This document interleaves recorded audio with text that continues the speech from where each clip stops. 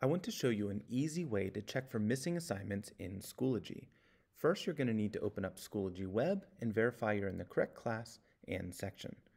Then over here on the left, you want to click on the Grades category. Now, in our school, we have three marking periods, 6-1, 6-2, 6-3 in this case. You can see what your grades are right there.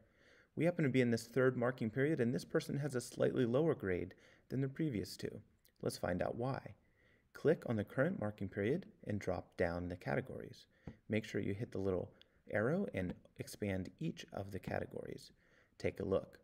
You'll see what your grades are on all the assignments. In this case, this person has mostly A's and B's. So as we scroll down, we're looking for this, the orange icon that says missing next to it. That assignment now has a zero. That's going to really drag down your grade. So if you find any of these, these are assignments that have passed the deadline and have not been submitted. Now you might see some other assignments with just a blank line next to it. Those don't affect your grade at all. In this case, it's an assignment that's due tonight, so it's simply not turned in or graded yet. Uh, down here's another example. This is an assignment that has been turned in. We can see the little submission icon, but there's still the little line. That's fine. That simply hasn't been graded yet, so it doesn't affect your grade. What you're looking for is this, the zero missing with the little orange icon. Those are going to be a real problem for your grade, so you want to take care of any of those that you can. It's worth getting at least partial or late credit.